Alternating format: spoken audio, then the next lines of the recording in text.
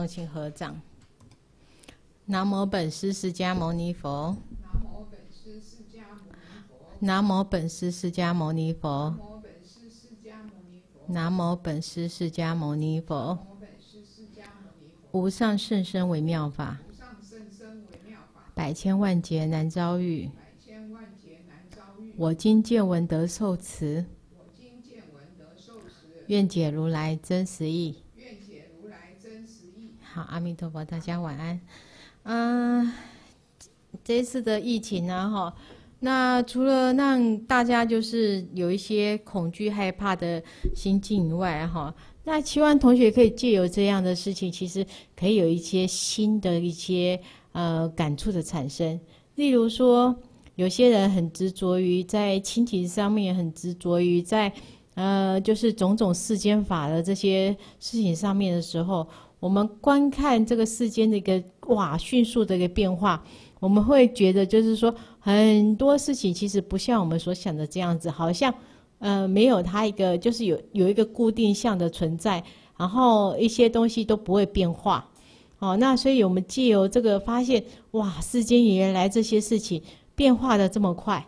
哦，那呃相对于有些人他也有他的一个烦恼性。那我们也可以关照我们这个烦恼性。其实大家想看一看哈，其实这烦恼性也是不可抓取的哦。就像很多东西都一直在演变，无常的视视线一直在演变。就像我们呃呃，不要讲到二十年前的烦恼，十年前烦恼啊呃五年前烦恼，一年前烦恼啊，现在又不晓得在哪里了哈。那再来的话，我们甚至于五天前。呃，两天前、一天前，甚至于十分钟前的那个烦恼，又不晓得在哪里。所以烦恼本身也是无自性，哈，也是我们自己去呃很多的一个攀岩抓取来的，哈。下午就有同学就问了，哈，他就说啊，哈，他梦到他爸爸，哈，那他又就听人家讲说，好像梦到那个往生者的话，哈，好像就是那个。那个爸爸是还在中阴身，然后没有投胎啊，没有没有怎么样哈，然后又他又起了烦恼，替人家说哦，所以我们常常说哈，有时候我们在讲话的时候，应该要以慈悲的一个想法哈，或者有智慧的想法去跟众生众生讲话哈，学习跟佛菩萨的一个一个角度哈。大家想看看哈，如果一个人听到他的亲人还在中阴身，没有就是转世投胎的话，那心境心情上是不会好的哈。那再来就是，本来那有时候日有所思夜有所梦嘛，对不对？那如果每个被你抓来梦梦里的人都都还在中阴身没有投胎，那还得了，对不对？啊，所以很多事情要有智慧的一个判断哈。那很多事情就听听就算了哈。啊，我们人生本来就很像一场梦哦。那，呃，一般的人又还在梦里面抓取那个梦哦，梦中梦，然后就执着抓取。哎呀，我做了个梦，然后这个梦怎么样？怎么样？怎么样？哦，这不是就是在呃，跟自己在那边就是好像在玩，有没有？哈，玩玩世间法世间的一那个种种之后，然后又在玩玩不够，又继续玩梦里面的梦哦。所以我们在看哈。呃，韩三子他的在四十三页的七十二首这个林可哈这首诗啊哈，他就有讲到啊哈，妇女啊哈，拥金织啊，好啊，一般的有些妇女啊哈，就是对于那个织织布的部分哈，也也都是比较就是慵懒一点哈，慵懒一点哈，那他也不勤于就是织织那些布啊哈，那。男众呢，哈，他就讲懒着耕田呐，哈，那这样子的话，日子就过得非常的轻浮啊，哈，一点也不朴实，也不实在，哈，那这些东西呢，生活上面的这些种种呢，就常常就是游荡啊，哈，在到处好像在晃来晃去，不做，哈，那再来呢，底下的那个垫垫席，哈，就是我们他拖着鞋子走。哦，一般我们在走路的时候，大家可以看一下哦，呃，会抬起脚。哦，那如果是拖着鞋子走，代表他无精打采啊，没有没有力气去面对一些事情，所以他会拖着鞋子走。哦，然后那个走路起来就是非常的呃懒懒散散的这样子啊，好，所以这两这这个整个讲起来就是呃男众呢跟女众呢，哈，有些男众跟女众他非常的过的生活非常慵懒，哦，非常慵懒，哦，那他这边讲的好像是在讲世间法的这些，其实。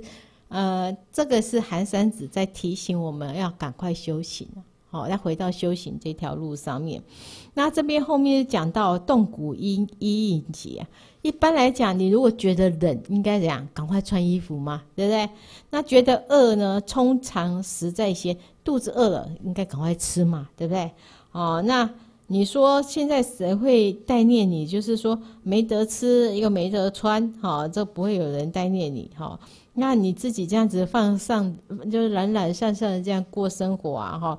那这个到后面是这样，你就算苦痛哭哭苍天这样，苍天也不理呀，好，对不对？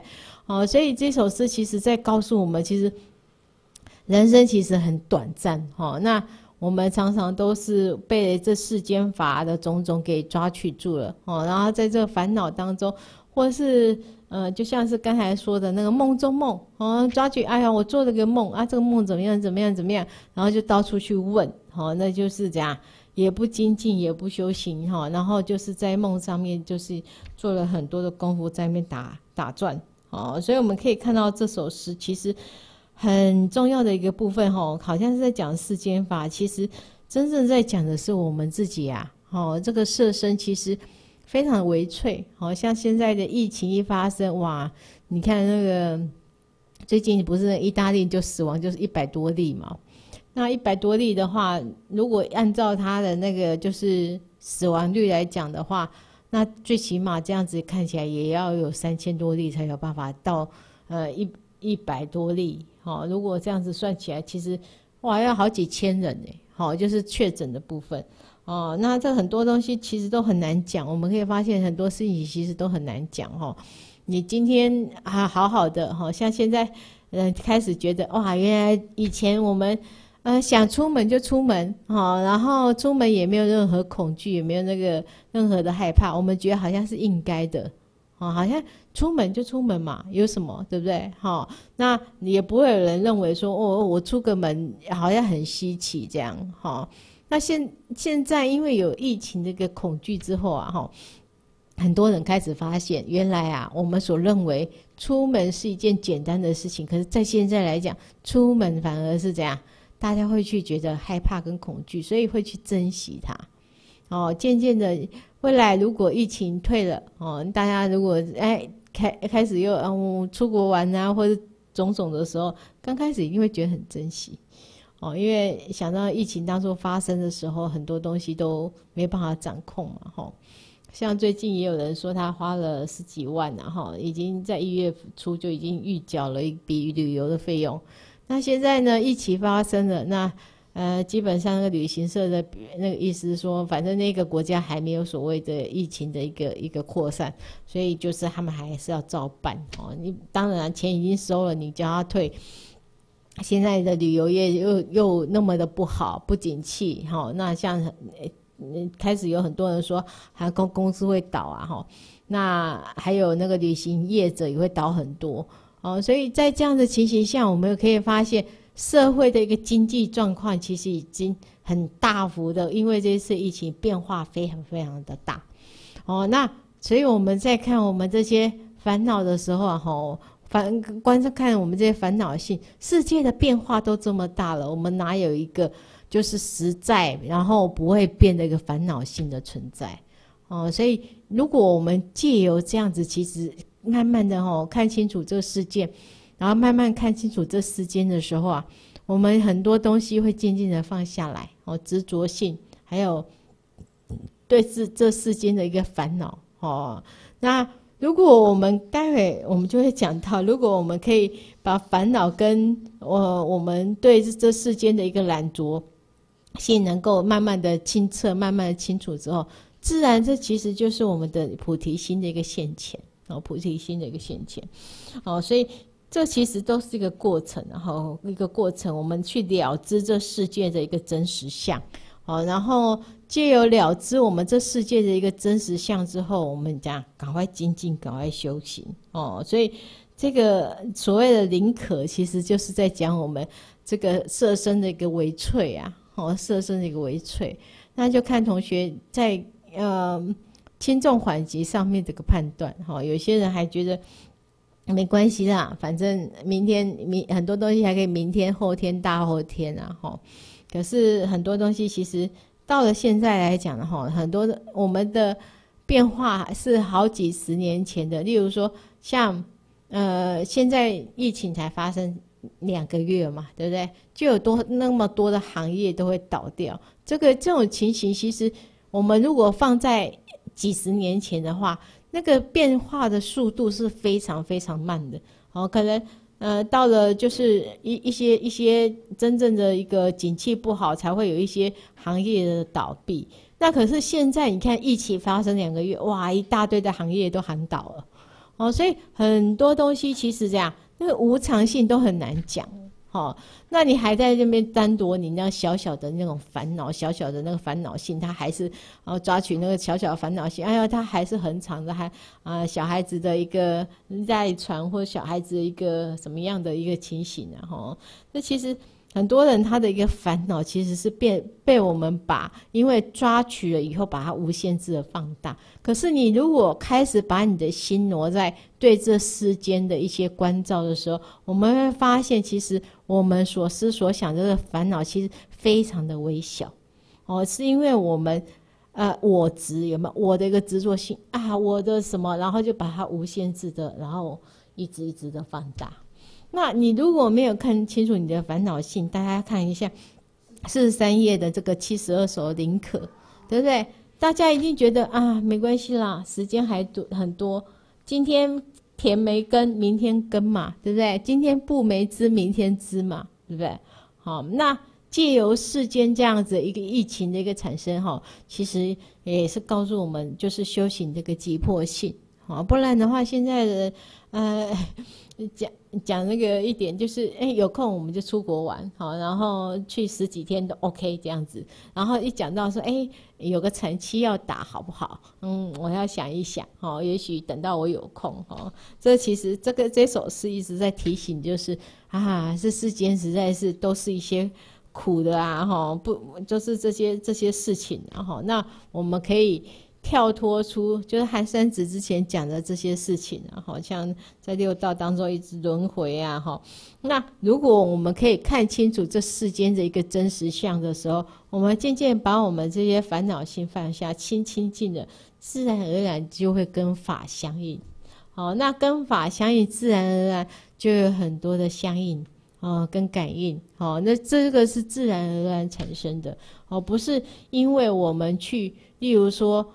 追求，哦，或者是我们想要，它就出现，并不是哈。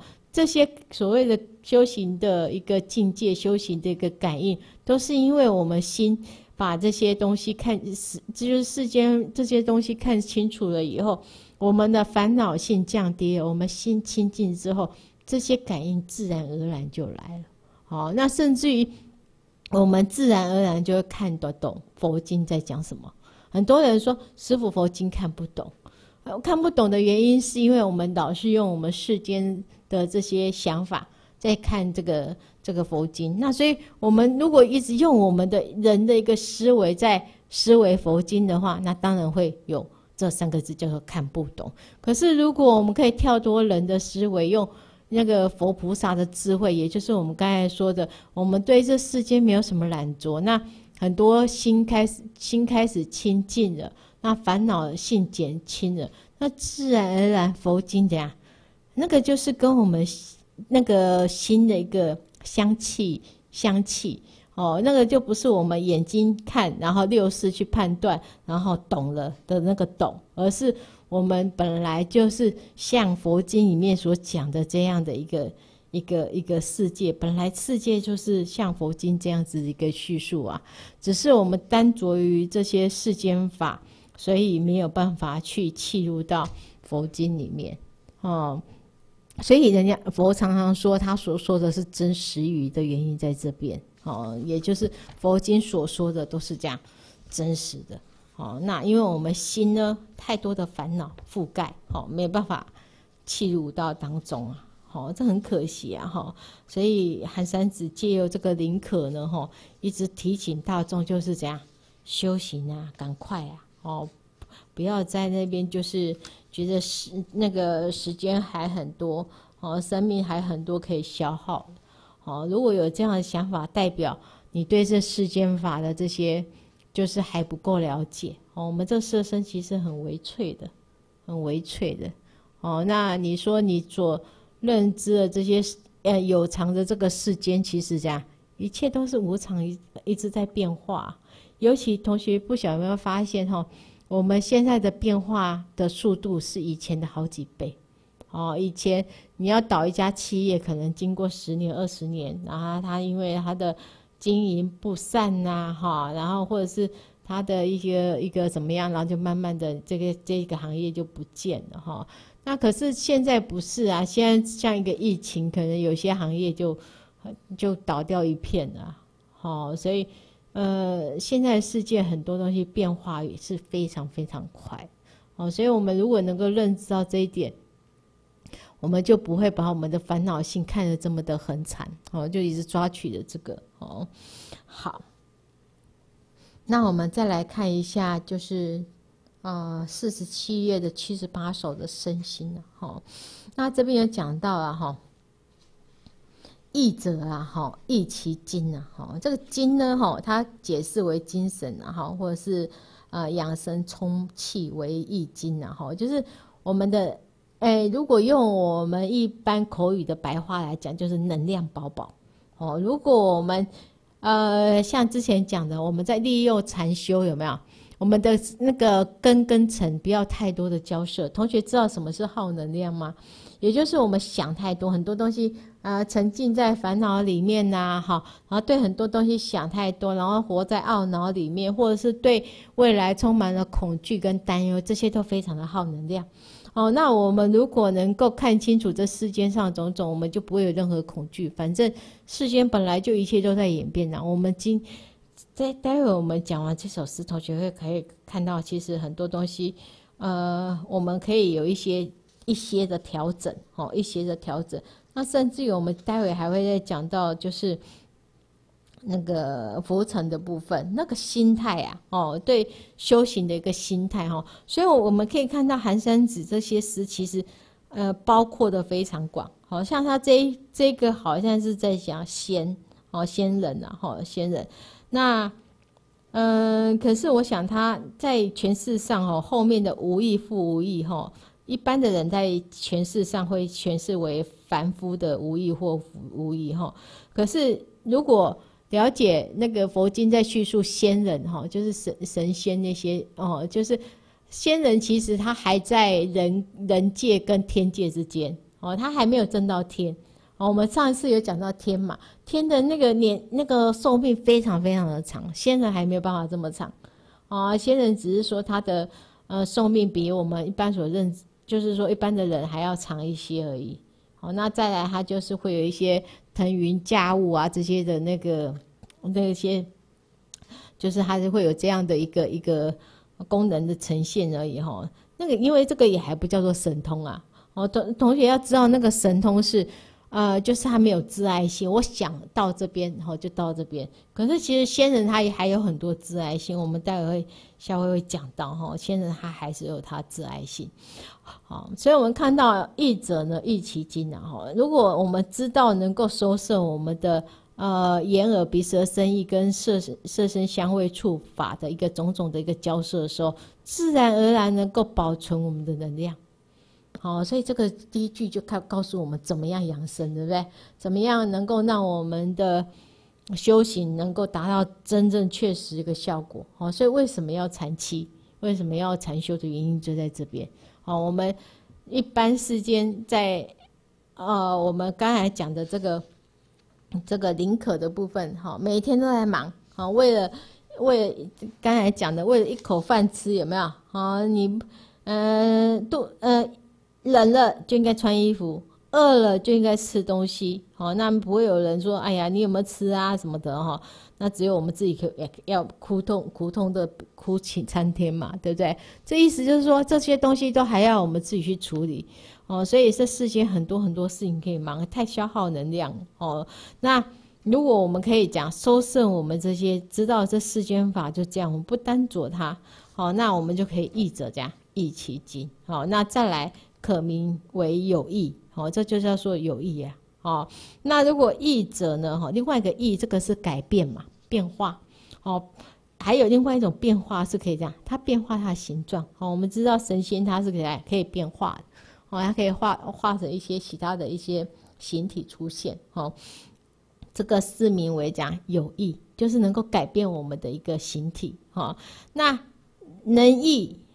赋能益，好吧？你看，那个益刚好都是这个益哈，能够益就是能够让我们的那个能量宝，然后又能够变化这些我们的外形的话，这个就可以讲上仙级，也就是神要成为神仙所说的仙人的两个条件，就是这样，能量要饱，然后这样能量要饱，其实同学。除了我们刚才说禅修不收摄我们的那个眼耳鼻舌身跟色身香味触，其实这个当中里面就含有我们的所谓的持戒了，对不对？好，如果你的心一直向外攀野，哈，像没有收摄，那个那个收摄的这个行为，其实就是我们所说的持戒。好，持戒，持戒就是这样，不要去这样杀盗淫妄酒嘛，对不对？好，这些其实都是我们的身口意往外。交涉哦，那如果能够收摄的话，就能够益其精哦。所以这个这个所谓益其精，其实以佛法的角度来讲哈，那也很好的，也有很多很多方面的一个诠释啊哈。那以先人的话，那一些老庄思想的话，他们一般就是哦，我们可以看到他其实他对世间法他有看得清楚一点，好像庄子有没有在他太太的往生的时候，他就这样敲着鼓嘛。哦，敲着鼓，然后人家说：“哎呀，你太太往生了啊，你怎么不伤心？”哦，其实伤心也是一种耗能量的行为嘛，对不对？我们刚刚讲到嘛，哈，伤心啊、恐惧这些都耗能量。所以呢，那个庄子就说啊，诶，那个应该要这样子讲哦，他太太只是怎样，本来就没有他太太的存在嘛，对不对？那现在只是怎样回复到没有他太太的状态而已，所以他认为这是原本的状态。那他为什么要哭？好，所以同学可以看到那种那个那种就是仙的那种看法，他们对这世间上的这些情欲是这样看的比较淡，好看的比较淡，哦，他们由于他们的一个一个看法跟想法。那当然没有办法像我们就是佛法它的那么那么深入的告诉我们这世间的形成是怎么样，整个因缘的形成。那我们怎么样看透这些因缘呢？我们如何能够放下？哦，他当然没有办法像佛法这么样的深刻，因为佛法他要的是生死解脱，不是成为仙呐。哦，不是成为仙呐。哦，所以他说，如果我们能够，那我们的那个收摄我们的这些身心啊，哈，能够让我们的能量啊、精神啊这些都能够保充，都能够饱和的话，好，然后又能够变化身形，就能够当仙。哦，可是就算当上仙啊，同学看一下，难道？就一直是能益复能益嘛？如果一直是能益复能益的话，就不会是所谓的无常的视线了，对不对？无常的视线就是这样，我们有可这个仙呢，能够在能益复能益的状态，可是呢，它还是怎样会转换成怎样无益复无益啊？对不对？好，刚才有讲一般人在这边，有些人诠释是认为这个是凡夫，可是呢？如果你能够了解佛经里面对仙人的一个看法的话，其实这边无意复无意应该描写的是仙人，也就是说，你看点那个我们上个礼拜讲那个天人的部分，哦，他寿命再长，如果他没有经过修行跟修修持，这样往下堕，对不对？哦，所以一样，如果呢这个仙人呢他没有这样。当上仙之后，他没有在网上修禅定啊，这些等等等的功夫的时候，这样就不免这样终不免死恶，还是会往生啊。所以仙人仙级不是我们所要的，因为他不究竟啊。哦，他不究竟哈。同学，我们也可以来看一下这边《大智度论》的里面有讲到仙人哈，哎，它里面就讲到啊哈，其实他这是在喝身呐，好喝身呐，好，我们对于身的身相的一个执着，好，例如说，像呃这几天就遇到一个女众啊哈，她刚好她就说她最近因为。呃，就是有一些状况啊，哈，所以她一共瘦了五公斤，好，那当然她瘦了以后，那个看起来就年轻嘛，哦，我说哇，你看大概看起来年轻，大概十岁哦，然后就很高兴的告诉我，哎哎，就靠近了，师傅你看看我有没有皱纹，我有没有皱纹这样哈，所以人你一般的人就是因为这样好听的话哈，然后马上就这样。哇，被这样执着抓起，然后就开始很高兴，哦，就产生很高兴这样哈。可是你看啊，那个那个大智度论就告诉你啊，哈，也就是在其实佛经里面都是这样讲。这个声音呢，例如我说我现在讲的当下的这个字呢，就其实都已经从一直过一直成为过去了，对不对？所以声相本身也没有一个这样一没有那个自信啊，也一直过去一直在无常变化当中啊，哦。那众生因为执着抓题，例如说，哎，看看谁赞美我，哎，哦，还沉溺在那个当中抓，这就是一种执着跟抓取嘛。哎呀，那个赞美，哇，你看我好年轻哦，哇，那个还活在那个那个赞美声当中。可是其实，在他赞赞美的在那个刹那，那个那个那个声音，其实怎样都过去了。啊可是众生家哇，还在抓取哇！你看，你看哇，我被称赞了哈。所以你看，他这边就说，因为这样愚痴的人呢，不了解这样身相无常变化哦，一直变无常的变失啊。也就是当你这个声音听到的时候，其实它又成为过去了。好，那那我们用这个方法来观我们的烦恼性，不是也是一样吗？哦，其实烦恼性也是我们家执着抓取而来的，本身它也并不是真正的一个存在啊。哦，是因为众生他，呃，很多的执着，很多的抓取，哦，那产生了。哦，最近就有一个那个啊，有有认识很久的一个女众居士就问我说：“师傅啊，师傅有烦恼吗？”好，那我就跟跟他回答，我就说。你这个问题啊，哈是这样啊，哈，呃，曾经有一个我师傅，就是他去做那个火车自强号啊，哈，我就用用另外一个方式回答他，我说他就去坐火车坐那个自强号的时候啊，好，那那个，嗯，就有一个人啊，就看到我家师傅，就跟我师傅说，哈，师傅你也坐自强号啊。哦，好像意思这样，师傅就不应该做自强号这样子。那我们就跟他开玩笑，不然呢？哦，那师傅不做自强号，不然还在后面追着火车跑嘞。哦，所以就是说，师傅有没有烦恼这件事情，其实相同也是这样道理。可是呢，在看烦恼性的这件事情呢，啊，一般我们这样众生的执着抓起，他就绕着走。哦，他的那个烦恼性就是，例如说，他今天看到一个杯子，他就开始啊，这个杯子放在这边，这个是新的、旧的，这个是好的、坏的，然后就一直衍生了，对不对？那个烦恼性也是这样，一直衍生，一直衍生。就像刚才说的那个，哎呀，我做了一个梦，我梦到我的爸爸，好，那人家告诉我，哎，我爸爸他。如果说在梦里面看到那个、那个、那个往生者的话，那个往生者一直都在中医生没有投胎，然后你看他这个烦恼性是不是越来越大了？我们本来只是看到一个我爸爸这件事情而已，可是这样，因为很多的言语、很多的那种我们的对那个烦恼的执着抓取，越延伸越大，产生他哇，我怎么办？我爸爸还没怎么会就是往生这么久了还没有投胎，好，要变成衍生成这样的一个烦恼。哦，这我们可以看到众生他对烦恼的，他就是这样一直延伸，一直延伸。可是呢，我们在看这个烦恼性呢，其实我们可以清清楚楚知道烦恼升起。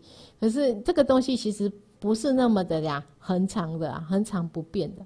哦，那再来就是世间法的很多东西，我们现在看是好，也不一定是好；现在看是坏，也不一定是坏。好，那既有这样的一个关照，其实我们那个烦恼性会这样。越来越轻，或者是借由很快的转念，烦恼马上这样可以转念转念掉，哦，所以心是比较这样清净的，哦，比较不会去沾着于那些所谓的烦恼，哦，那也是像这个那个喝声的部分，其实也是可以用来我们去看我们的烦恼，关照我们的烦恼，哦，相对的，我们也可以看到这个烦恼这样啊，一直一直的过去啊，好，好，所以一般的众生在已过的生当中念，好而生这样？着啊，产生执着性啊，好，好，我们看这个例子哈，像五百仙人啊，哈，有五百个仙人他在这样？山中住，那有位呢，哈，就是真陀罗女呀，哈，她在雪山的那个池当中啊，哈，洗澡，好洗浴，那就这些五这五百个那个仙人呢，哈，只是听到这位那个美女的歌声呢，哈，就失去禅定，好，那心醉啊，狂意啊，哈，不能自持，哈，同学有没有发现？你看有没有？为什么他会失禅定？因为他心怎样散乱，心散乱哦。为什么会心散乱？因为他的耳根耳根跟怎样生成交涉嘛，产生执着嘛。所以，而且这个声音又非常的好听，所以让他怎样心就是整个散乱掉了。那所以他失去禅定，不能够这样支持啊。哦，同学有没有发现，原来仙人有没有？也要持持戒呢，哦，像这个那个那个，就是很多的那种隐喻啊，或者是那种很多的那种一听歌声或是怎么样啊，哈，同学你看到没有？私禅定这样也是这样往下堕的，哦，马上这样，你看他在后面就讲，譬如大风吹竹。树林树啊，吼，那听闻这个细妙的歌声啊，柔软清净啊，就生这样邪念想，所以事故不绝讲心狂，心产生的种种的狂乱。哦，我们心其实都常常都在狂乱当中啊，吼，对，所以佛经常常形容我们这颗心呢，像狂象，像猕猴，就是皮一直蹦蹦跳跳的，没办法怎样守我们这颗心啊。那后面呢，这五百仙人呢？这辈子输失诸功德有没有？有没有看到？只是一个听到一个歌声就失诸功德，而且这样后世当讲堕恶道。那同学会觉得很害怕。我只是听个歌，然后心散乱，为什么就会这样多恶道？这原因其实并我们看到，哎，众生的判断就哎看到这样子就认为哎应该就是这个导致的。可是事实上呢，他如果只是心的一个散乱，他。呃，除非他产生种种的念头啦，哦，然后后面有所谓所所谓的业力的部分，那不然呢？其实这个是因为，当你失去禅定之后，你没有办法再继续往上升，好，你没有办法继续再往上修持，对不对？因为你失去禅定了，你没有办法再往上修到那个所谓的色界跟无色界啊，哦，那很容易就退转，好，那再来就是。我们当我们失去禅定之后，心散乱以后，我们常常就是善的那个以累生累劫当中种下善的种子跟恶的种子嘛，那可也不晓得哪个先发芽。万一是恶的种子先发芽的时候，我们失诸功德的时候，怎样没有办法那个摄心呐，没办法摄心，没办法再往上修，怎样就很可能是这样往下堕。哦，所以他这个理原因是在这边哦。施诸功德，其实这些都是这样，这辈的施诸功德，这些都是一些那个所谓的导火线哦，那真正的因是在于我们累生累劫当中种下的这些恶果。哦，那因为施诸功德，所以这样让这些恶果这样成熟了，成熟了。哦，好，那所以他堕恶道。好，所以我们看有志之人观身，观这个声音讲念念生灭，好，这个声音其实也是这样一直在生灭、生灭、生灭、生生灭当中啊。哦，那但是因为我们因为呃这个声音一直一直讲、一直讲、一直讲、一直讲，所以我们会觉得它有个时间性，然后而且一直一直一直持续，然后有时候会觉得持续呃一呃一个小时半呐，好像我们现在讲课持续一个小时半，但是其实这个声音是怎样？一直一直一直就是断那个一就很像那个那个我们之前讲的我们那个巴士的种子啊，一个一个一个一个个这样接接连着的哦，只是因为我们听那个声音，因为我们的那个频率相应，所以会觉得它是一个连续的一个状态。可事实上，这个声音本身呢，如果同学就是说能够心静下来的时候，其实这个声音本身它也是一个断断续续、断断续续、断断续续的一个一个组合啊，哈，一个一个一个。成为一个一个就是一个句子，或成为一个一段那个一个课程啊，哈，这样的一个组合的一个效果，哈。所以声音本身它也是这样，念念生灭啊，好，念念生灭，哈。而且前后这样不聚啊，哦，我们都认为前面跟后面好像很完整，可是事实上呢，哦，这些也是一个因缘上的一个合合而成啊，哦，像如果说，嗯，我们现在正在讲讲的当中呢，这个麦克风忽然坏了，好，所以讲。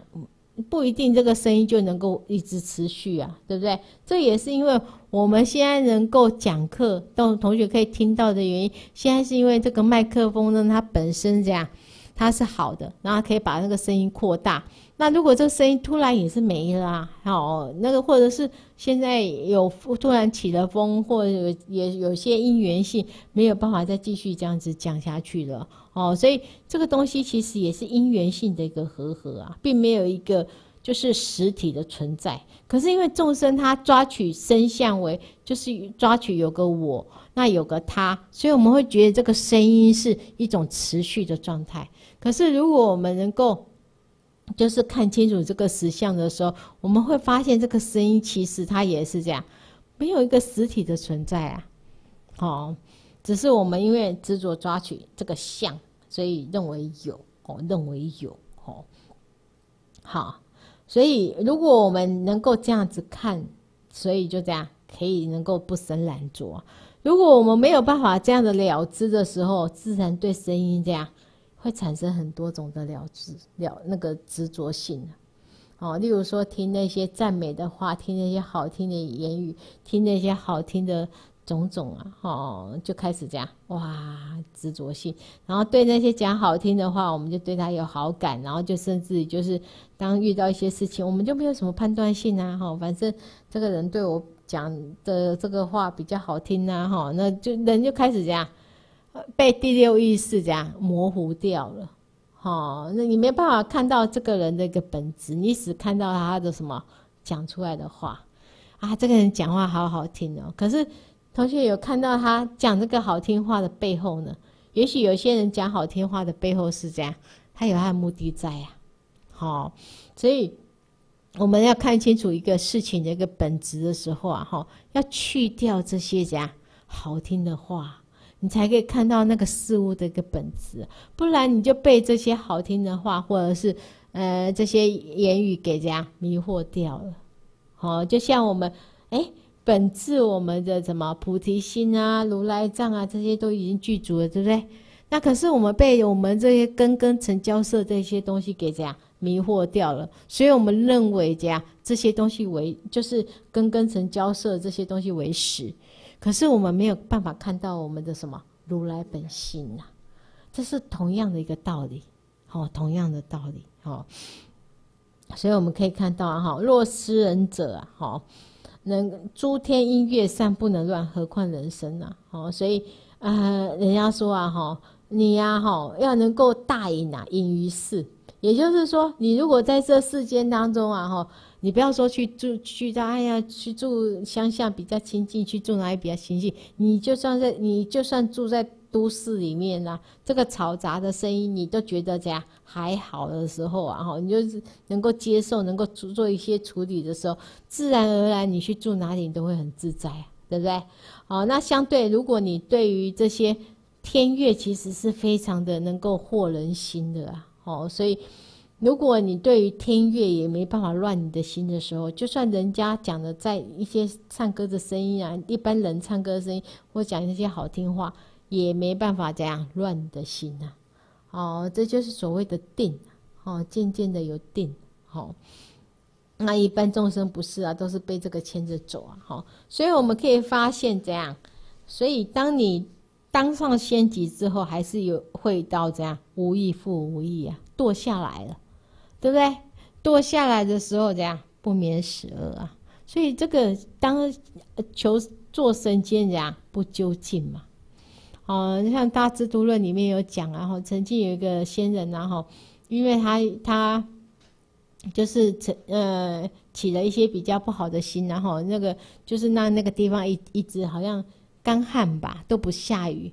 那就有一个国王啊，哈，就找了一个美女，哦美女啊，哈，那美女就就就色诱，好，那那个那个仙人他本来要经过那个地方啊，哈，那个美女色诱，那个人就那个仙人就掉下来了，然后就又一样失禅定，然后一样，哦，然后可是这个仙人他毕竟还蛮有羞耻的，所以他又赶快摄心，有没有？要赶快再修持，然后再又又又又再回到仙级，哦，所以。以当上神仙来讲，哈，其实我们看看我们的佛法，其实比那个所谓的仙还要更更加的这样维系嘛，哦，维系很多啊，哈。那个仙只不过就是寿命稍微长一点，然后能够有一些就是能够改变他的形而已，哈。好，那我们来看一下四十八页的，好，观空八十首。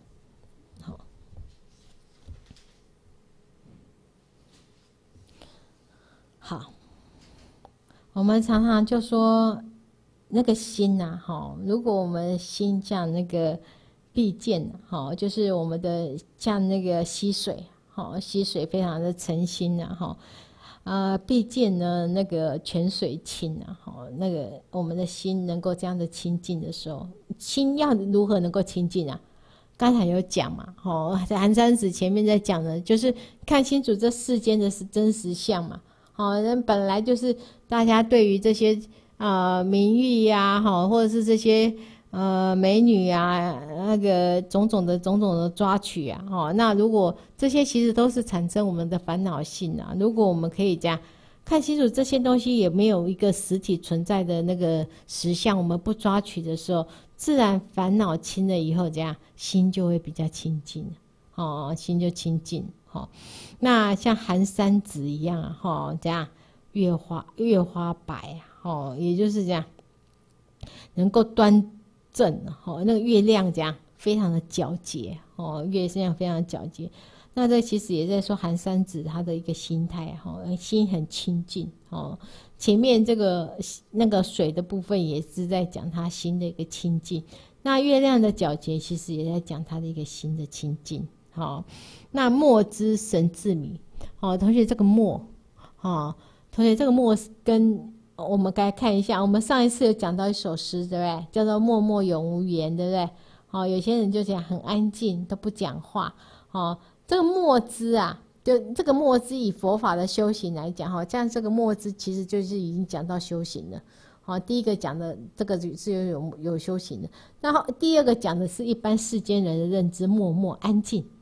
安静不讲话而已，那个只是我们就是没有那个那个舌根的部分没有作用啊，好，没有作用而已啊。那前面这个墨汁是我们的眼耳鼻舌身意这样，还没有去跟人家色身香味触法交涉，好，没有去交涉，哦，所以那个墨这样，那个墨就是这样，整个寂静下来。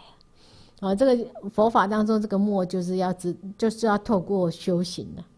哦，一般人呢顶多就是，哎呀，呃，认为认知的默就是这样安静而已啊。哎呀，我我很安静。可是你要能够，就是眼耳鼻舌身意跟色身香味触法都能够不交涉，那个就是必须靠由修行的。哦，修行当中，像我们。呃，禅坐以禅坐来讲的话，哈，刚开始我们就说心会这样，我觉得心很乱。那心很乱，是我们禅坐的时候才乱嘛，并不是嘛。其实我们平常时就心乱乱惯乱惯了。好，那借由我们能够觉察到我们的念头的升起，好，然后再来就是我们看清楚这世间的一个真实相之后，我们才能够这样真正的。达到佛法当中所说的默，好，所以佛法当中这个默字呢，如果呃是在讲佛法的修行的时候啊，这个默字就是怎样，没有交涉啊，哦，那个那个极静啊，那个心那个极静啊，哦，如果同学能够讲让自己的心能够讲没有当中没有任何的念头啊，好升起的时候啊，哦，同学会知道哇，那个其实就是所谓的清安啊。哦，我们心很清净，哦，很清净。那如果我们能够默知的话，这样生自明啊。好，那个我们的这样很多东西自然那个明啊，清清楚楚啊。哦，如果这样，我们借由打坐有没有？我们之前有讲哈，灰尘慢慢的，尘埃慢慢，就像一杯水，把它摇摇摇摇摇，啊，很浑浊，对不对？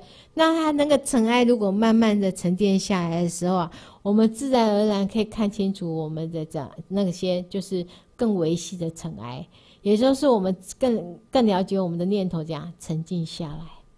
哦，所以这个神智明是讲清清楚楚了知我们的每一个念头。好，每个念头都讲清清楚楚的。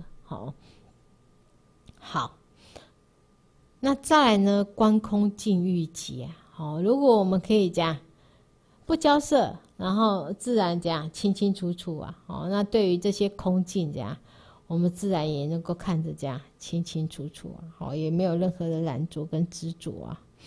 哦，同学，这个空啊，以。小圣的佛法的空的话，它诠释是有空间的意味啊。可是以大圣佛法的空的话，这个要诠释就叫做无自爱性哦，也就是说，我们例如说，嗯，刚才讲的那个，哎，我做了个梦，那梦里面梦到我爸爸，这是不是一种自爱性？一直延伸嘛。哦，然后产生烦恼心，然后很多很多就越来越越真实，越来越确实，对不对？所以，我们这个烦恼常常都是这样子。我们的一个周边的人讲，然后再来就把我们烦恼心越来越确实了。好，那观空呢？我们就讲没有那个自爱性啊。好，那想法当中，我们跟佛菩萨的智慧相应的时候，自然而然这样，我们看清楚。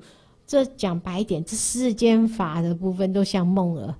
我们不会去这样执着抓取梦里面的烦恼为烦恼啊，好，那一直延伸啊，对不对？好，我们自然可以讲清清楚楚的，哦，所以如果我们可以讲心清净了之后啊，好，然后这样看，呃，不要跟跟尘没有任何交涉，自然这样看很多东西都讲清清楚楚的。那再来，我们念头也这样清清楚楚的。那对于空的部分呢，我们也这样没有任何自爱性的。哦，观空的部分，我们也没有任何自爱心。不只是我们这个色身，对我们来讲没有自爱心。我们的想法，因为跟佛菩萨的智慧相应啊，就看这世间法也这样，没有自爱心啊。好，那同学为什么会有这么多的自爱心，会有这么多的烦恼呢？就是因为一般的人都用这样凡夫的角色角度在看这世间呢。好，例如说我们刚才讲的啊，哈，啊，我的爸爸又是我，对不对？哦，所以像以一般的那个小圣的那个阿罗那个来讲的话，他最起码可以挣到我空的部分。那法空的部分，因为他有一个涅盘可入，可是所以他还没有这样，没有办法挣到法空。可是至少要挣到我空。同学想看看，如果一个挣到我空的人的话，自然而然不会去执着我的爸爸。啊，然后我做的梦，我的什么，我的什么，我的什么，他没有，你就不会有这方面的执着性。好，所以如果我们可以对这些对空的部分我们有所了解的话，没有那个自爱性的话，自然而然这样，很多东西就会越来越清楚啊。哦，所以这首诗其实它是把寒山子的一个一个那个修行的一个。就是他的一个境界哈，跟跟大家能够表述出来哈。那一般的众生呢哈，他大概认为的默默是在这边的哈，就是讲默默永无缘哈，然后讲后生何所述哦，你一直这样沉默啊不讲话，那呃后面的人怎么样去叙述你呢？哦，那。如果我们都隐居在林守哦，一般的人认为隐居一定要在隐守，其实大隐隐于隐于世啊。好，我们刚才我们之前说的离世间法，是我们对这世间没有任何执着性，而不是我们离开这个世间去住住在林守里面，就是住在森林里面，这是不一样的。因为以菩萨的角度，他要度众生，那森林里面没没有什么动众生可度啊。对不对？所以所谓大隐于隐于市的原因在这边。好，在在都市比较好，怎样渡人嘛？好，那你如果隐居在灵手当中啊，哈，你的智日何由出啊？你的智慧怎么有办法怎样升起啊？对不对？好，大家想看看，菩萨最重要的是什么？慈悲嘛。那慈悲就是对众生嘛。那你又躲在灵手那边，就是不去面对这些种种的众生，不出来度众生的话，你的智慧怎么能够这样提升呢？哦，所以我们可以发现，有没有发现智慧从哪里生？智慧从在跟人的一个接触当中，或是在度人当中，或者是在与人的一个交谈当中去产生啊。哦，有有人问啊，哈，师傅那个度众的问题啊，哦，哎，有有人很需要、很急的被度啊，哈，那怎么办？哦，那其实以我们的角度是这样，我们不会有业绩压力，哦，所以像佛以佛菩萨的那个心态是这样，众生这样，他要有因缘才度啊，也就是说，他真的。嗯，像他之前这一首诗这样，他对世间的这些东西看透了，他想到要修行了，你度他才有用啊，对不对？不然的话，有些众生觉得这世间还很好玩，然后你就一直跟他讲，哎呀，要修行啊，要好好怎么样的，有没有可能性？很难嘛，对不对？哦，因为他还对这世间很多的胆着，很多的他觉得很好玩的地方嘛。哦，那你又一直想要去度这样的众生的时候，其实这个就是我们变成怎样？这个本身，这个这个人的一个执着性了，为什么一定要度这个人？对不对？哦，那个又回到是，哎，我的亲人，我的什么，所以我要先度他。可是事实上呢，很多人可度嘛，没有业绩压力嘛，他因缘到了成熟的人家先度啊。好，如果我们可以用佛菩萨的这样角度的话，智日这样，我们智慧才会这样产生啊，对不对？哦，不然的话，哈，永远都在这样隐居在灵手，连那个那个慈悲智慧都这样无法增长哦。所以我们可以看到这些枯槁啊，哈，非坚味啊，哈，我们所认为这个色身好像很坚固，其实这样就好像是这样枯槁的这些这些这些树木而已啊，或者是这些草而已啊。好，然后这样风霜呐，哈，成妖疾。稍微啊，哈，在种田当中来一个风跟霜啊，哈，就这样，那个、那个、那个、那个，就是它的那个稻子就这样没有办法长生长出来了呢。好，所以我们可以看到后面讲这一句啊，土牛耕食田，也就是我们刚才之前讲啊，那个师姐一直问说，哎，这个人我要渡这个人，那这个人，哎，我觉得很急，同学。他被渡的人如果不觉得急呢？对啊，人生还有很多好玩的，我干嘛要渡啊？我干嘛要修啊？哦，这就是所谓的呀，土牛跟食田那我们如果怎样不了解佛法到底在讲什么的时候啊，常常也落入到什么土牛跟食田，也就是讲没有讲得道日。这个得这个道就是这样。那个一般来讲，这个道那个音通的呀，通那个就是成佛道的那个道啊，哦，所以我们可以发现，你看那个寒山子有时候他用用很多的方式，都一直在叙述的是这样，要让都就是那个呈现都是寒山子的慈悲跟智慧，一直在告诉大家这样，赶快修啊，赶快修啊。哦，那你如果不修呢，然后又看不懂佛经呢，然后又没有办法，又一直在这世间沾染的话，哦，就像这边讲的“自日何由出”啊，好，那呃土牛跟石田呐，哈，这样子永远没有办法得到啊，哦，好，所以有没有这一回归到寒山子常常说他家的前面的那条路啊，对不对？很亲近啊，很皎洁啊，同学有没有想走啊？有吗？对不对？哈，那那个亲近跟那个很很就是没有烦恼的那条路呢，就是我们刚才讲的这边呐，啊，前面这个句子啊，有没有？必见泉水清啊，寒山月花白，莫知神志明，观空境欲极啊！好，这就是寒山子经过修行以后，他这个心态的一个呈现。好，心态的一个呈现。好，所以修行就是透过修行的人，他心啊很很亲近呢。好，那他对于这世间法的部分，他也没有任何自爱心。那后面我们大概讲到浮尘的时候，就可以看到，呃，我们之前讲到由事入理，对不对？好，由这世间法呢，我们去契入到那个佛法的真理当中啊。这个佛尘其实就很好哦，非常好的一个一首诗啊。好，那我们先看到八十一首，四十八页八十一首的夜市啊。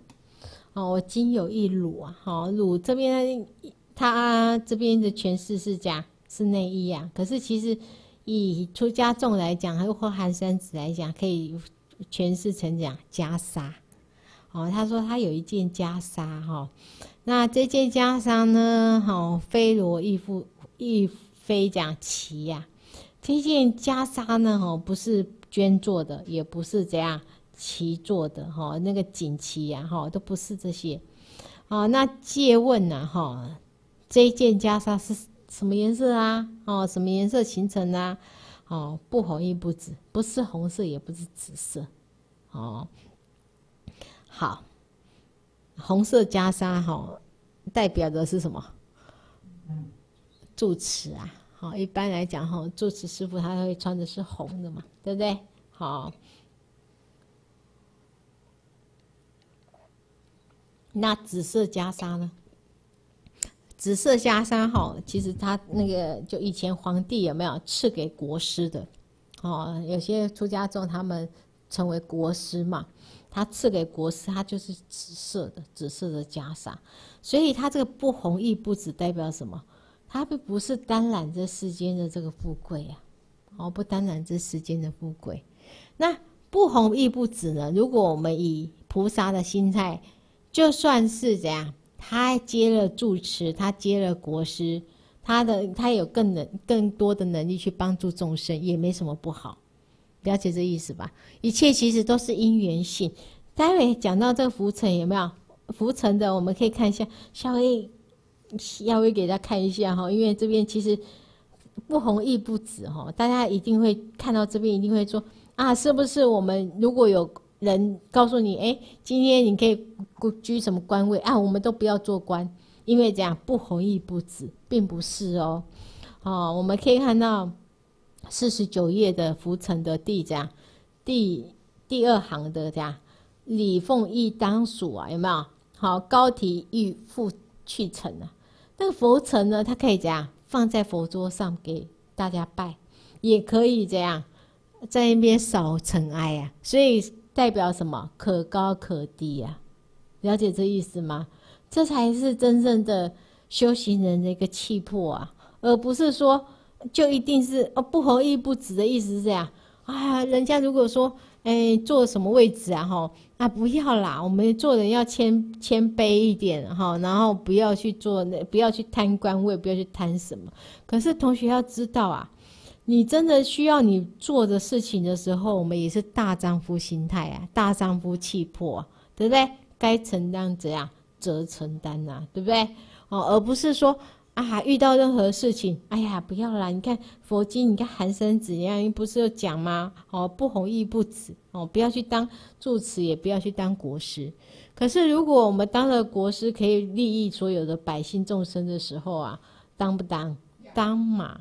啊如果做住持，能够就是安稳一世的那个，呃，那个就是一世的那个那个，就是出家众的时候，也是要当啊，哦，所以这些东西叫叫做什么？当当即当啊，也就是说，我们的因缘性如果有可以帮助更多的众生的时候，也要承担起来，而不是说一昧的说，哎呀，不要不要不要，哦，好。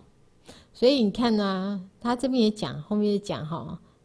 你看它一一件袈裟，还有这么多作作用呢。吼，夏天呢，吼就这样做衫呐。哦，那冬天呢，就这样当被子啊。哦，可以再盖多盖一层啊。吼，那冬夏呢，替护用啊。好，冬跟夏这样都可以用。哦，这些常年啊，就是这个。哦，这这件这袈裟怎样？呃，不管是怎样，冬天还是夏天呐，这样都可用啊。好，来，同学，我们来看一下哈，这首诗跟这首有没有很像？好，啊，这首是那个唐朝的那个盘运，哦，盘运居士呢，他是那个马祖道一的弟子，哦，所以是禅宗的，哦，禅宗的哈，那很有趣哦。你看这个这两首真的是非常非常的像哈，只是一般的人在看的时候会觉得，那个盘运他所写的这首诗呢，可能他的境界好像感觉比这个啊韩山子写的高。哦，可是事实上呢，呃，事上面如果没有看透彻，哈，那这个所理就是这边所讲的理的部分呐，只是怎样空理而已啊。同学了解这意思吗？也就是说，你没有看像寒山子对这世间的这些看透彻之后，你要讲到理的部分，那个理只是怎样口头禅，嘴巴讲讲而已呀。哦，嘴巴讲讲而已呀。哦。好，这边庞庞居士那个语录里面就讲到，我有一件大衣呀，哦，这件大衣呢不是怎样世间的卷，哦，这个其实这个一大一指的是就是我们怎么的如来本如来藏啊，好如来藏啊，好，所以这个就是我们讲没有办法用世间的这样。卷啊，非是世间卷，也是没有办法用世间的东西去形容啊，对不对？好，世间当中那一些物质的部分没有办法形容这件大衣啊。哦，我就算是世间法当中最好的叫做绢的这这种布料，也没办法怎样嗯形容我这件大衣呀。哦，这讲的就是如来藏嘛，对不对？好，那昼色染不着。啊，所有的颜色你要把它上上去，这样不行啊，没办法上啊。哦，我们不是有讲到如来藏的，它的一个比喻，有点像是我们现在播电影，然后电影后面那个布幕有没有？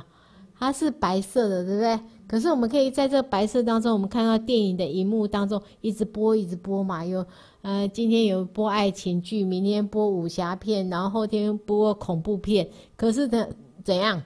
最后，当东东播完的时候，那布幕还是白色啊，对不对？哦，所以重色这样染不着啊，金金如素练。哦，那个这件衣服的绢呢，哈，好像这样白白绢一样，好白绢一样，白色的。好，那裁的时候呢，不用刀，哇，大家就想，哇，好神奇哦，哦，这件大衣这样，一般我们这个其实就是。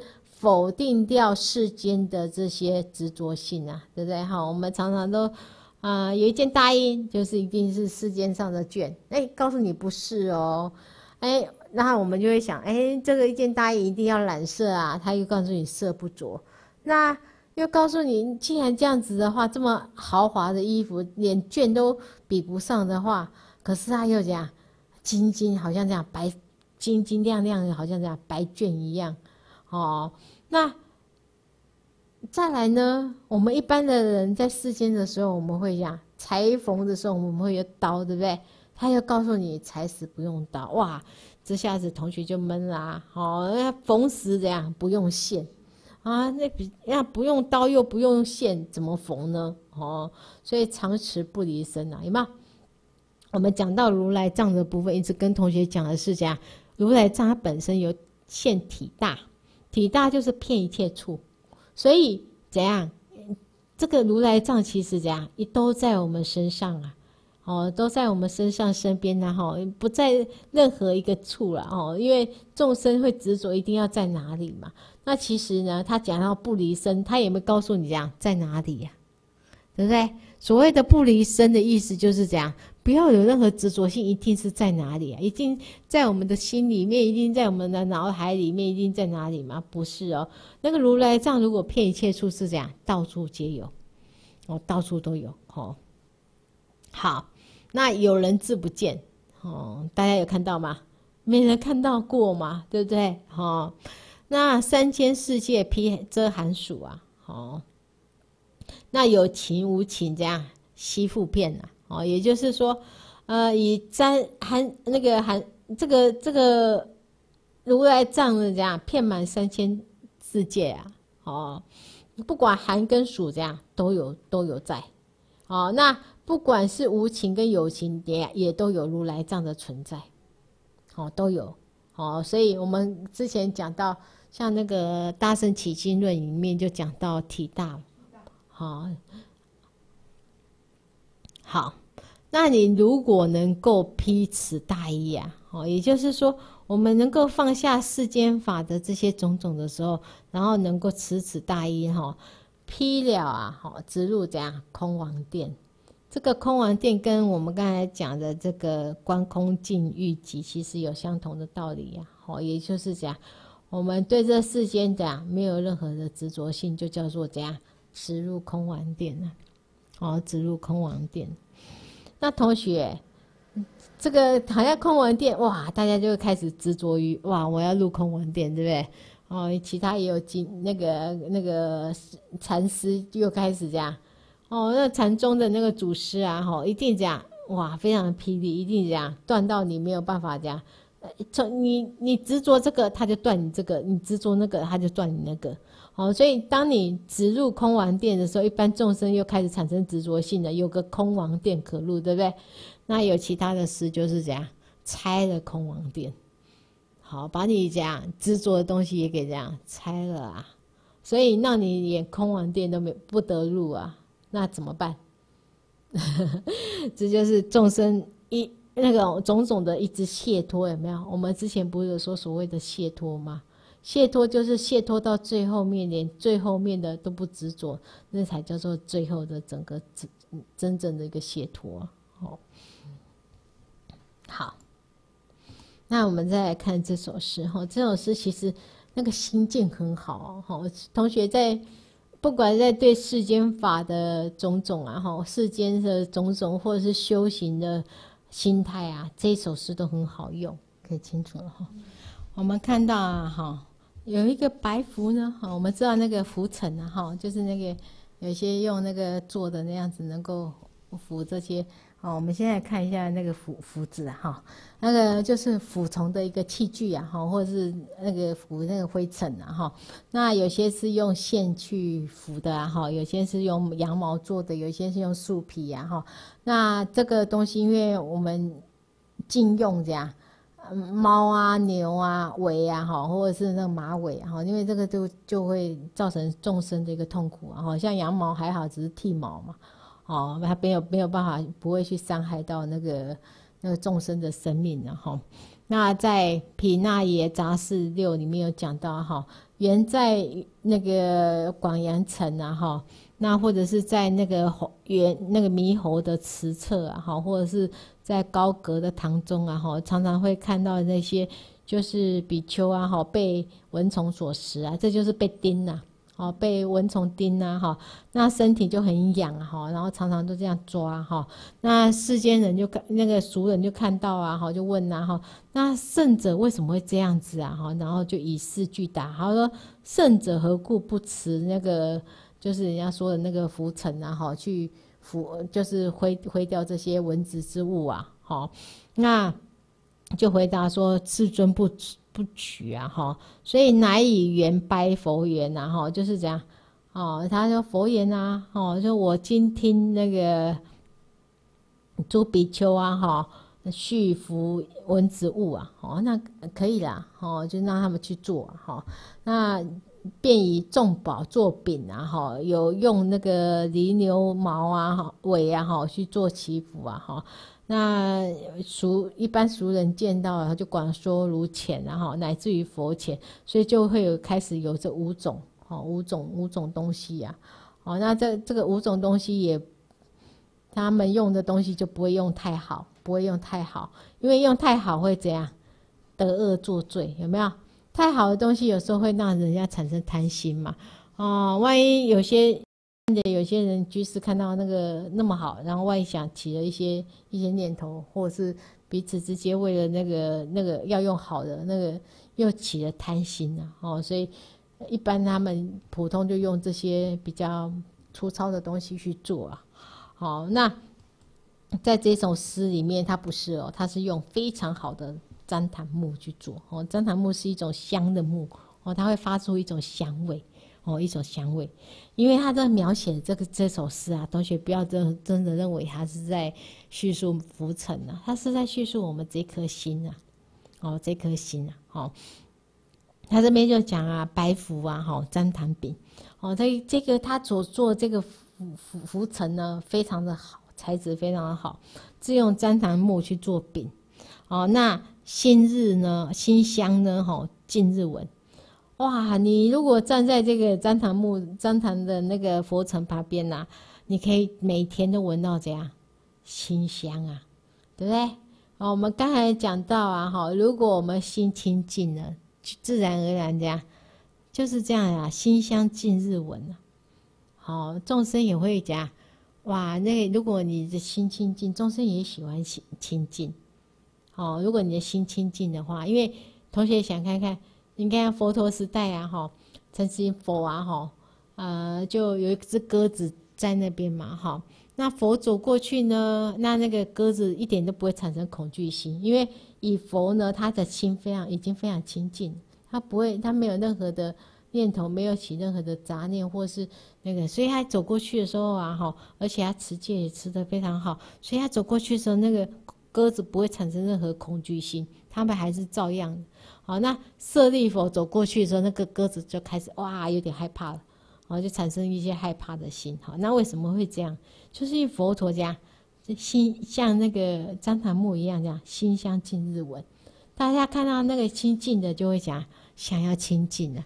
啊，如果那个心乱、心狂乱，然后非常的那种贪嗔痴念头很多、很杂乱的话，众生看了也讲心不喜啊，对不对？哦，所以。这个就是讲心香啊，哦，近日闻，那柔和如卷雾啊，好，那个它那个这个其实看起来哦，它那个那个浮尘好像可以讲把雾给卷起来，非常因为它非常柔软啊。同学，这个在讲讲的其实是我们的心呐。如果我们心能够柔软的话，练这样那雾啊，那么大便啊，哦，那个心量啊，哦，都可以这样，都可以承受啊，好。然后摇曳是行云，然后我们就是像所谓行云流水，有没有？那个心这样，该怎么做就怎么做，非常的怎么样？该就是像一般的有些人，很多的心心常常这样拖泥带水啊，这样好吗？那样好吗？啊，犹豫半天，然后也还啊，到后面还没做。哦，那这个摇曳如行云就是这样，我们这颗心可以讲柔软，非常的柔软，可是呢？当遇到一些事情该做的时候，我们就像行云流水一样，该做就去做了。好，该做就去做了。好，好，那这边这个浮尘呢？哈，这边讲到李凤仪当暑啊，当暑的意思是什么？夏天呐。那如果形容于人人来讲的话，夏天就是这样，正年轻的时候啊。哦，所以同学这修行这样，最好就是在最年轻的时候最好了。越年轻越好哦。为什么？因为当我们年轻的时候啊，哈，那个那个身体状况好，那做很多状况做很多事情，这样比较能够有气魄，比较能够快速的去去啊，哈。那当然，我们说老人其实老人家的智慧其实也很很很值得怎样赞叹呢？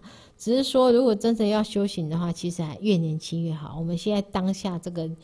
就是我们最年轻的时候，所以要修要赶快呀。好，那他刚才讲到高体负屈沉，有没有？一般的人呐，高不成高不成低不就，对不对？好，可是如果我们透由修行，或者是对世世间法的东西这样，就算是呃要你当几千的人的面前演讲，也有办法讲。那当要你去就是帮大众擦个桌子啊。捡个热色，你也有办法捡。也就是说，高高到哪里，低低到哪里，我们都可以的。身没有任何的这样身段的一个执着性啊哦，有些像呃日本的企业，嘛？不是他们都很喜欢叫他们的员工去禅修。哦，那为什么去禅修？他们禅修的时候，常常扫厕所的都是那些高阶的主管。为什么？你这就是所谓的高提负屈沉了，就是说他可以这样高高在上，他也可以这样。你当你需要的时候，他也可以这样呃可以帮你去除这些。这个其实还有另外一个角度，这也就是佛菩萨。佛菩萨可以这样高高的这样坐在佛桌上让你拜，可是他也可以这样过来这边这样去，就是去掉去除掉众生的这些烦恼啊。好，那也可以说我们的心态，面对任何事情怎样，我们如果准备好了，好该做的时候，我们怎样勇于去做，不要说哎呀不好意思啊，吼，像刚才说不止一不红啊，不好意思啊，哦，那个大丈夫那个以。以那个佛法里面常常说大丈夫的气魄有没有？也就是我们如果因缘性是成熟的哈，当然前面有很多讲到那个居高位啊哈，那个那个求富贵的时候，常常都被人家所害或是怎么样。可是有些如果因缘性成熟的时候，可以做一些我当居其位能够做一些事情的时候，怎样？就算是高体也无畏啊，对不对？哈，那时时方丈内啊。哦，时时方丈内那个方丈其实都，呃，方丈其实它指的是这样。我们来看一下它的诠释哈。寺院里面的住持和尚，我们称为方丈嘛。哦，这个就是相传那个维维摩居士哈，他做的那个十十事啊，他住的地方只有一丈。那他这个虽然只有方丈而已哈，我们可以看到那个在维摩诘集那个里面经典里面讲到哈，就是。当然有很多的人去进到那个室内，也别不会觉得那个室内非常的什么狭小。那他就算剩下维摩诘一个人，也不会觉得这个事非常的大。哦，那其实就是我们可以说是这样，我们这颗心也是一样啊。好，时时的去关照我们这颗心呢。好，然后这样将用子迷人啊。好，这样如果我们可以那个浮尘啊，如果我们可以这样。让我们的心能够清净，能够怎样扫除我们这些贪嗔痴的这些种种烦恼的时候啊，那自然而然的呀，那个就是告诉我们这样一条这样能够觉悟的路啊，对不对？好，能够告诉我们就指引我们这些呃一般的那个迷，我们知道一般众生称为怎样？一般的佛呢，佛称为讲已经觉悟的众生嘛，那众生就称为还没觉悟的人，那个佛嘛，对不对？所以迷人的意思就是在还没有觉悟的佛啊。那我们可以用这样指这样指这个迷人啊，告诉我们这样该怎么做，能够让我们从迷到悟啊。哦，如何能够从迷到悟啊？哦，所以我觉得这首诗写的非常好哈。他这里面有讲到，就是嗯呃，对于世间这些种种的这个心态，哦，该怎么去面对这些世间上的事情？哦，那呃很多东西其实就在我们的心量里面，哦，心量里面，如果我们心量很大的话，对于所有事情我们都可以这样含纳在内。哦，那如果我们心量只有一点点的话，那个很多东西讲处处都是自爱，处处都是烦恼。好，所以。我们就是练习，好练习，我们能够把我们的这些烦恼性给这样用这个浮尘去除掉之后，然后让我们的心量能够扩亮。哦，对这世间法当中，我们也有一些我们的一些认知，好认知，好。那因为今天时间关系，我们就一起来做回向，哈。好，大众请合掌，愿以此功德，愿以此功德普及于一切，我等与众生。皆共成佛道，阿弥陀佛。